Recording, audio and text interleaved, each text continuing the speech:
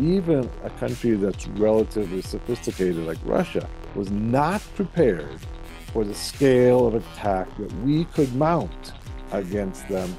It's easier than a regular ransomware that you need to penetrate the organization and then encrypt the files, right? Keep the key and in DDoS, you don't. You don't need it. Exactly. This really should be a lesson to the world that DDoSing a country is really a, a real thing. You can DDoS an entire country. The beauty of this tool is that it allows us to create packets of just about any type and size. Okay, using this IP address as the source IP address, and this one as the destination IP address. And let's go ahead and run that and see how it does. So it's going ahead and it's flooding the other system with a, a massive amount of fragmented UDP packets.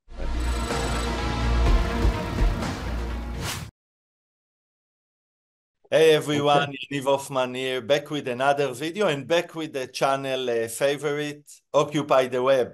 Welcome.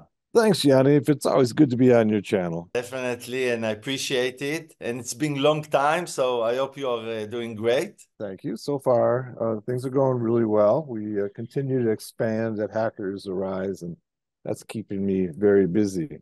But uh, thank you. So today's topic is uh, actually close to my heart, and it's about uh, DDoS, distributed denial of service. We'll speak about what is DDoS, it's a hot topic today, mainly influenced by geopolitical uh, tension, Russia, Ukraine, Israel, uh, Hamas, but not only. Many proxy groups that are pro different sides are, are active and very active uh, actually. And maybe if we'll have time, we'll speak more about even the risks and uh, IoT and maybe have a, a short, brief uh, hands-on demo with HPing uh, 3. So lot of stuff uh, today.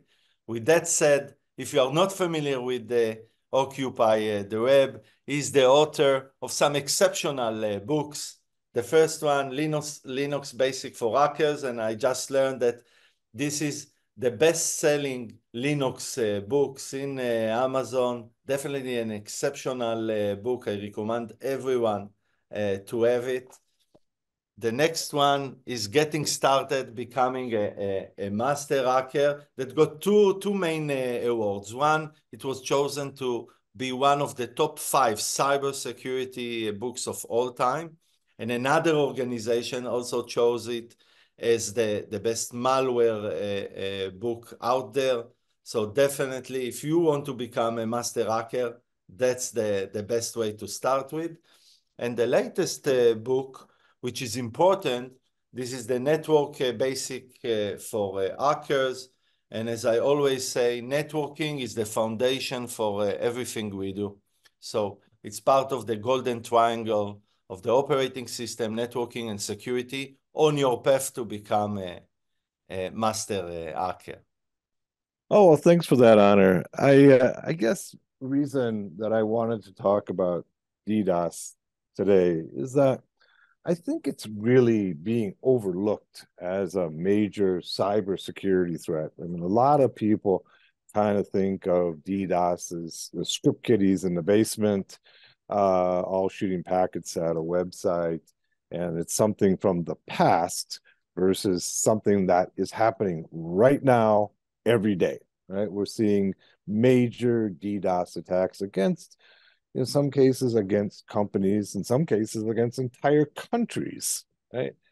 And as they are getting worse, you know, it becomes more and more important that cybersecurity professionals, one, be prepared, okay, and know how to handle it, and probably have in place on their edge protection against DDoS attacks. So I wanted to just kind of raise that issue, and I raise it now because it has become more and more a tool uh, of geopolitics. Mm-hmm. Right, we're seeing DDoS attacks being used in cyber warfare in the present time. Right, that coupled with the fact that there are millions of compromised IoT devices, and hopefully you're familiar with that term that's internet of things And that's all the stuff, you know, all the security devices, the refrigerators, the baby monitors, you know, all of that stuff that's connected to the internet that all has little tiny Linux kernels in them. So almost all those devices have a little Linux kernel and they're very, very small, you know, we're used to using a very robust, strong Linux for doing, you know, hacking or administration of a network. But these devices have these little tiny Linuxes that have just what they need to run, say, a baby monitor or a security camera. But most of them, a lot of them, okay, are connected to the internet. That's why that's why you can see your security monitor, right? Just because it's connected to the internet. And many of these devices, millions of them, have been put up on the web with little or no thought of security. And millions of them have been compromised. You know, oftentimes they're left with very little security at all. Of course, there's always the possibility of hacking one of these devices, these IoT devices. But in most cases, the attackers don't even have to hack them because many of them have very simple or default passwords built into them. So these IoT devices that, once again, are all over the world, millions of them, if they're compromised, they can be used for DDoS attacks. And we've seen this happen over the years. And we continue to see it. And I think we're on the verge of seeing a massive, a massive DDoS attack that could knock out major countries, uh, major industries. This concerns me. And I think that much of the world is not prepared for this type of attack. Um, I think that if you you may know that it, when the the Ukraine Russia war began, right, in February 2022, well, a number of us, okay, set out to try to DDoS Russia. And a number of us, it might be as much, we don't, we don't know how many there are, but somewhere we think 100,000, okay, Russia thinks it was 17,000. Russia counted all the IP addresses that were involved in the attack, and they came back and said there was 17,000 IP addresses that were involved in this attack, you know, this massive DDoS attack on Russia. The end result, whatever the number happened to be, you know, if it was if Russia was right at 17,000 or we're more accurate at 100,000, it's still a small, relatively small number compared to the number of IoT devices there are that could be deployed in a DDoS attack. Right. And with our numbers, we were able basically to knock out the the entire Russian internet. Okay, and you know the, the stock the stock market, um, the major telecom companies were all knocked out. As a matter of fact, the Rostelecom, uh, Rostelecom, I guess is what it's pronounced, which is the the telecom company in Russia, the major, said that our attack was the largest they'd ever ever seen. So it was twice the size of anything they'd ever seen, and they were largely unprepared for an attack of our scale. Uh-huh. But the important lesson from that is that even a country that's relatively sophisticated like Russia was not prepared for the scale of attack that we could mount against them and we were able to keep them largely offline for about six weeks. That's a that's a long time if you think about it, right? It's a long time to keep a whole country offline. So, or at least major institutions in that country. We clogged up all of the internet and we knocked out many of the major institutions that were allied with the government and the military. Some people were have been a little bit concerned because Russia has vowed that they're going to get us all back, all 17,000 of us, or whatever the number has been. And we've seen the Russians retaliate against some who were involved in this. But it's still, you know, for the most part, most of the people who participated are still up and running. Everybody's still alive. Okay. Uh, and a few people have lost computers to attacks, but for the most part, everybody's still functioning. But this really should be a lesson to the world that DDoSing a country is really a, a real thing. You can DDoS an entire country. And the Russians have done this many times throughout history. Those people who have read my book might have read the early parts where we talk about the history of hacking. And Russia has DDoSed entire countries before, right? And this is something that they do usually before they attack. Um, and we kind of turned the tables on them and said, okay, you know, we're going to DDoS you. And I think we were far more effective than the Russian DDoS attackers were. But this, we didn't use IoT. Okay, we did not use IoT. Okay, we we used all 17,000 individuals.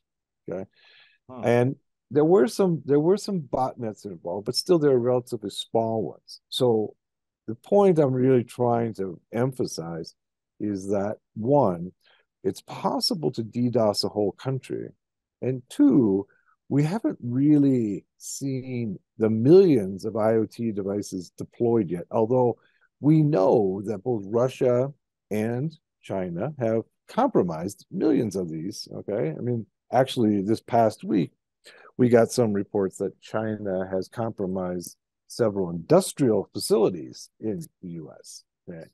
Um, they've been compromised even more these IoT devices, and these IoT devices being basically Linux computers can be turned into DOS machines. Okay. And that's something that everybody should become concerned about. One of the things that we have seen of late that's um, that is relatively new is we've begun to see some relatively sophisticated DOS attacks that use UDP instead of TCP. Right. So those of you who are studying your TCP IP probably have heard of UDP. UDP is connectionless, right? But it's it's very lightweight. So unlike TCP, TCP has all the overhead of you know checking to see whether or not the packets actually arrived, okay, and they arrive in the right order and all those things. And if they actually do arrive at all, right? right. Whereas UDP doesn't. UDP just sends out, you know, just sends out packets uh, to an IP address. And it's what usually is used, for instance, for music videos or videos in general or audio files. So these packets, because they're much more lightweight, okay, they're much more lightweight, that you can send them out faster. Okay. You can send them much faster. And if you fragment them, you can send them out even faster. So you can get more and more packets into a IP address port, okay, right.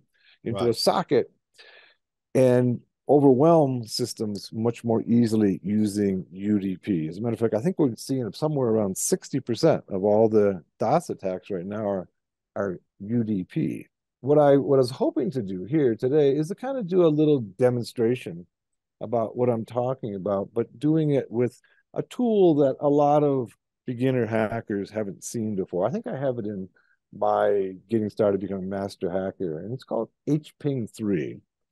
HPing 3 has been around for quite a while, and it's gotten a reputation of what some people refer to it as a packet crafting tool. Right. And they call it that because you can create just about any kind of packet you want with with HPing. Unlike Nmap's a great tool. I'm not I'm not knocking Nmap, but I think Nmap's the most essential tools that every hacker network professional needs to be familiar with. HPing has a little more flexibility in that you can put together packets that don't comply with um, the RFCs, and right. and you can create all kinds of packets of different sizes, right, and fragment them and right. send them out in massive amounts. And you can choose what protocol you want to use. Right. So let's take a look then at um, HPing three. Okay. And I, I totally agree. So so I think what we see lately, one, definitely the goal of DDoS attacks is to create disruption, right? Motivation behind cyber attacks were either financial motivation, there are different motivation, activism, right? A nation state, organized crimes, uh, angry, uh, angry people, etc., etc., etc. And, and sometimes sometimes it's ransom too. Yes, and ransom sometimes, and ransom. sometimes though I've I've been DDoSed and been asked to to, uh, to pay a ransom, and and right. I laughed at I laughed at them.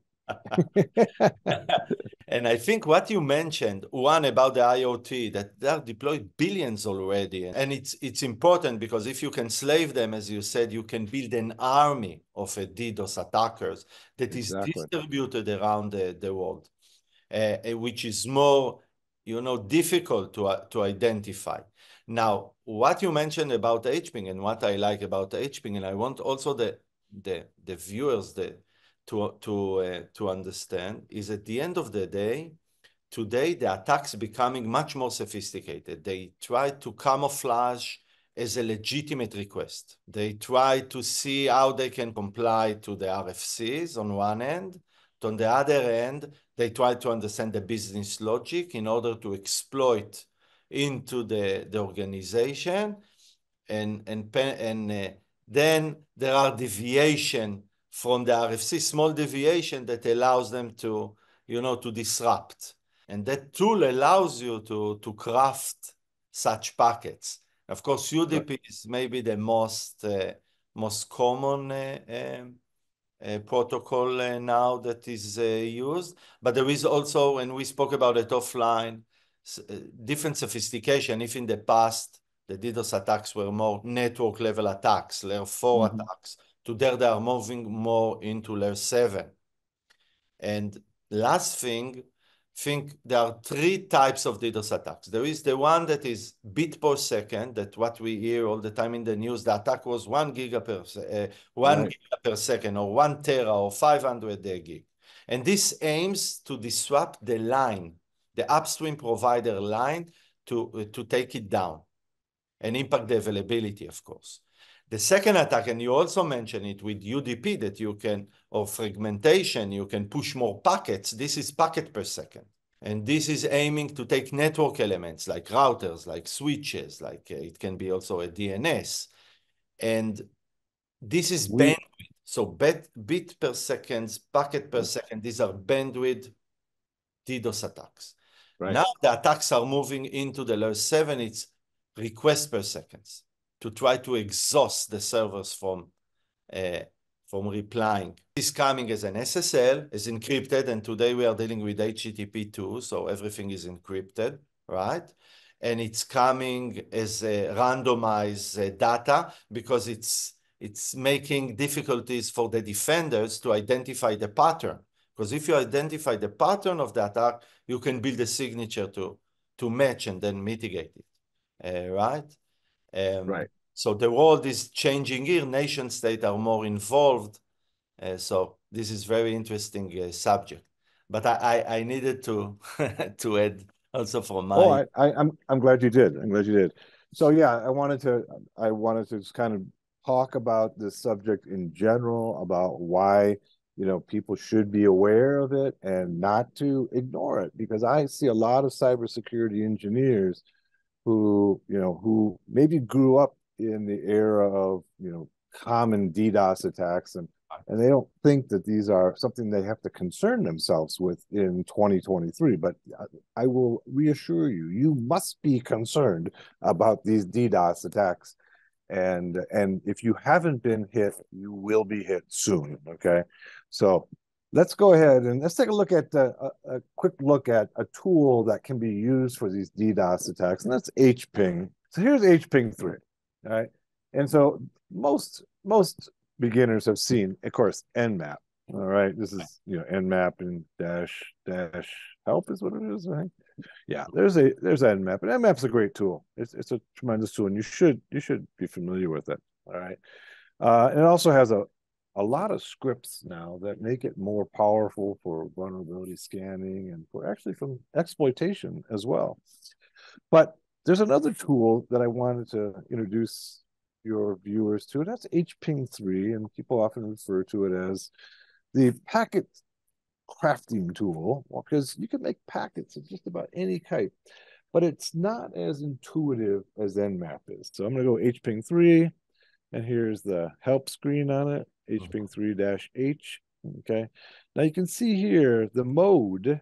Okay, here's the modes that it will work in. Okay, it'll work in TCP, raw IP, ICMP, UDP. There it is. And then dash eight is just scan mode, and dash nine is listen. Mm-hmm. You can also spoof, okay, the source address where the where the uh, packets are coming from. Um, is you can also you know tell it what interface to use, um, the TTL and the ID. Um, TTL is a time to live, right? Right. Uh, you can go ahead and do a random destination or a random source. So that means that it'll appear to be coming from a different IP address each time. Okay, it sends out packets, making it more difficult for uh, edge security devices to be able to block it. Because oftentimes the first thing that a DDoS security device will do is it'll identify that it's under attack and then start to block that IP address. That's the logical thing to do, right? You know, just you if you see a bunch of packets coming from someplace, you go ahead and you just block it. And a random source is going to make it a little bit more difficult. You can do other things, you know, like setting up the more frag and don't frag. Notice that frag and more frag, those are packets can be fragmented. That's one of the beauties of TCP IP, and for that matter, actually UDP, is that they can actually be fragmented and still be reassembled when they arrive at the destination. But by fragmenting the packets, okay, it makes it more difficult for the edge security device to be able to identify it as a DDoS attack, as well as it allows for the sending of packets faster because the packets are going to be smaller. They're not going to be entire packets. They're going to be fragmented packets. Right. And this could this can really throw off a lot of devices. Okay, so this is our tool. It's uh it's great for doing uh port scanning and and other such things, right? Let's just do a quick scan. Okay. HPing three. All right. And, and then we're gonna do a scan. Let's start off by um, sudo mm-hmm. hping three. I'm not I'm not doing anything anything malicious, right? I'm just scanning, yeah. right? Google.com. And it's not going to resolve it, so I'm going to have to ping it and pick up the IP address. Well, I didn't remember if it had DNS capabilities. Apparently not. Oh, problem is not Google. It's the problem is that I'm not. I don't have outside access. So, and let's go ifconfig. Yeah, I got WLAN zero. I got ETH zero. Maybe I just need to go DH client. ETH zero. All right. Upper sudo. Okay. Okay. And get a DHCP assigned IP address. And now let's try pinging Google. Yeah. Okay, good. Yes. Good. Let's let's try our command again. And here we go. Okay. Now, what it's doing is it's going to go ahead and scan. And in this case, looks like Google is not responding. So we're going to have to try to, to scan something else here. Google's not going to give us a, a response. Let's go open up another machine here. Put up Dragon OS. Those of you who haven't seen Dragon OS before, it's it's a operating system designed especially for software defined radio. It's got a lot of great tools in it. If you haven't seen it before, check it out. Yes. All right, good. Okay. So what we can do then is to try scanning it with HPing 3. We have uh, the Dragon OS over there as our target machine, and we can just go HPing 3 and then the uppercase S and then the IP address of the other machine and we'll go ahead and run it.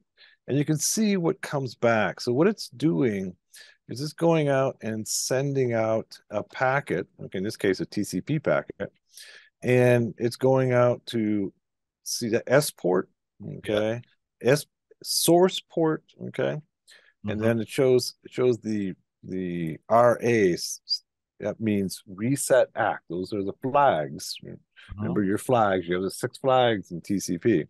And when you send a packet out to a port that's closed, it comes back with the reset act, just like so. It's telling us this port is closed. Right. A little different than Nmap because Nmap tells you, you know, gives you a nice summary report. This one doesn't really do that. Okay. But we can here just started at uh, port zero. We can tell it we want to go ahead and scan, say, port 80, right? That would make sense. We're going to try and see if we can see if port 80 is open. And you can see that port 80 is still telling me it's closed. Mm-hmm. Okay. This is the reset act. So you can see that one of the things that that HPing 3 does is it makes it a little more difficult to understand and interpret the results. You have to know a little bit of TCP to be able to interpret the results. Okay? Mm-hmm. The beauty of this tool is that it allows us to create packets of just about any type and size, right? So we were talking about the UDP packets being used in many of the attacks. And oftentimes what we can do, okay, it, with a tool like you know, HPing3 or other tools as well, is to go out and send out a flood of fragmented UDP packets. All right. So HPing allows us to do that. All right. I'll show you how to do that in a second. So we can go ahead and go sudo, right? And then we go HPing3. Right. And then the, the uppercase S for, for scan. And then we're going to tell it we want to do it in UDP mode. Okay. And then we want to flood, right? Send, send the packets as fast as you can. Okay and spoof. Or we could also do random source IP address. Remember, that was one of the options. But here, what we do is just going to spoof an IP address. In this case, we'll just uh, create an IP address on our network and tell. So when the packets arrive at the target, they say the source IP address is this one right here, right? And uh, our IP address is actually 107. We'll call it 101. Okay, that's where we're gonna the packets are gonna appear to be coming from, and then they're going to okay, 107, what was it? 52? 136, I think. 136. Okay. Okay. So now now we got two IP addresses that look good. Um, and then what this will do then is it'll send out a flood of UDP packets, okay, spoofing the IP address, okay, using this IP address as the source IP address, and this one as the destination IP address. And let's go ahead and run that and see how it does. Okay, so it's going ahead and it's flooding, okay, the other system with a, massive amount of fragmented UDP packets. Right? And this can, you know, with a number of of entities running this simultaneously at the same target, it can and take down a lot of systems. Right. You know, one one of the things that we've seen in recent years that uh, a nice thing within network administration is we've got these scanners now that are really really powerful scanners and things like mass scan and zmap they're very powerful scanners scanners that are capable of sending out enough packets to scan every IP address in the world in a matter of minutes, right?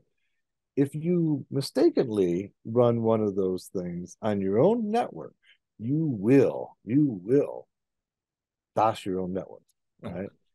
Definitely. And and, and yeah, they, they run so fast that they send out so many packets. Well, you know, that is another tool that can be used for DOSing a network with mass scan and or ZMAP. Okay, so these tools, you know, we're just beginning to see them being used in DOS attacks, and I think that's something because they can generate packets so fast, right? That that's something that uh, we need to be concerned about. So, HPing three is you know is a is a tool that can do and create a packet that is necessary to to be able to send these fragmented packets, spoofed fragmented packets, to a target. But we also have a number of other tools that are out there that, with a little bit of tweaking, Okay, because both Masscan and ZMAP are sending out TCP packets. Okay, by default. With some tweaking, we can get them to send out TCP UDP packets and create massive amounts of traffic on the network. Right, right. You know, I, I looked um, today in the telegram of some of the activist groups, uh, pro-Russians one, like um, Anonymous Sudan. Sudan. Or yes. Killnet, or Killnet, or Anonymous Sudan. Anonymous Sudan, they are offering like a service as well. Join a service called Skynet. And of course, we are not recommending it uh, here. Without permission is illegal, uh, right. But uh, why I'm emphasizing that, because you mentioned few tools, and this tool, you're offering $100 per day, um, and you can generate significant amount of traffic that can take any organization down in $100 right. a day. For $100 a day. A day. Yeah. It's... And there are, and I saw in the dark web also, you know, professional even uh, DDoS sites that are offering uh, from uh, um, $13, $13.99, or even a price of a, a coffee in Starbucks, right? Tax of a 15 gigabit per second for 30 days. And if you want to take down an enterprise with 200 gig, it will cost you less than $2,000 a month without right. a stop. It's, it's, it's so cheap. So definitely it's very easy to use. You don't even need it, to exploit anything. You can use like a DDoS as a service. Right. Exactly. we're seeing we're seeing a lot of the DDoS as a service as well as for years we've been seeing ransomware as a service and ransomware as a service has grown dramatically. So ah. and it's much easier to do a DDoS attack than it is to do ransomware. ransomware. So so DDoS attacks, you know, we really haven't seen the peak, I don't think, in DDoS attacks. And I think we're going to continue to see growth in DDoS attacks yeah. And if we get into additional uh, nation state um, conflicts, we're right. going to see more and more of these directed at entire nations. And they have the capability of knocking a, an entire nation offline for some period of time, not not indefinitely, but certainly for some some period of time. You mentioned the ransomware as a DDoS, and, and I agree. We start to see this phenomena also by extorters. And uh, because as you said, it's easy, it's easier than a regular ransomware that you need to penetrate the organization and then encrypt the files, right? Keep the key and threaten them, but you need to penetrate the organization. In DDoS, right. you don't. You don't need it. Exactly. So exactly. what we see, organizations are getting a ransom letters. We are, for example, the Lazarus Group or Cozy Bear or, or others and you can Google about us to see that we are a serious hacking group. And now we are going to attack your, this is the IP, we are going to attack it uh, in mm-hmm. the coming 24 hours. We'll, we'll start modestly with a small attack just to show you that we are capable. And then if you will not pay the ransom of X uh, Bitcoins, we'll start to bombard you on a daily basis at this level of uh, uh scale. And every day that you do not pay, the ransomware will double. So this became a very easy uh, uh, and common way uh, of uh, DDoS attacks, as well for financial motivation, by the way.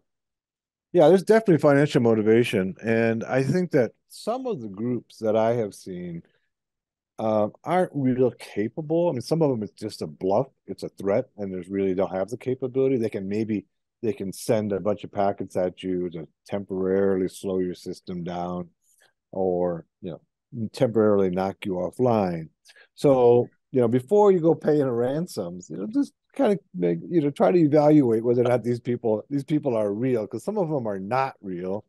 But the truth of the matter is is that these DDoS attacks are relatively simple to complete. And so you can have you know a lot of marginally talented hackers participate in DDoS attack. They don't have to be sophisticated. They don't have to be sophisticated to be able to take your entire company offline. We do see a surge of uh, uh, DDoS attacks, mainly influenced by the geopolitical tension we are in.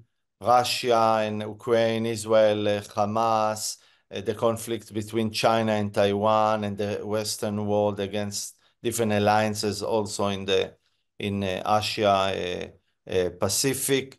We, the the the way and the sophistication and the the growth, at least the frequency, is also triggered by one ease of use and and cheap services that can uh, uh, that can be used uh, today.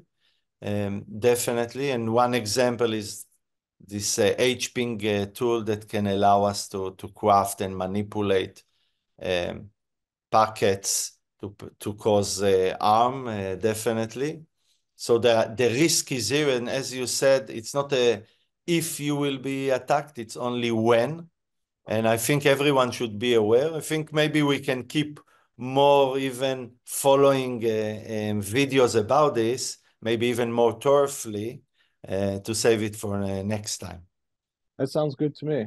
Okay, great. So with that said, again, Occupy the Web, thanks so much for uh, joining, sharing your uh, view, experience, uh, thoughts.